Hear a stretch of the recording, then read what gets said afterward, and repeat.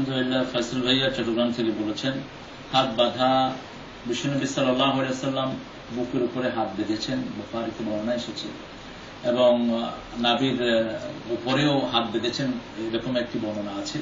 তবে বিশুদ্ধ হল বুকুর উপরে হাত বাঁধা, এখানে, এভাবে। ডান হাতটা উপরে থাকবে আর বাম হাতটা নিচে থাকবে।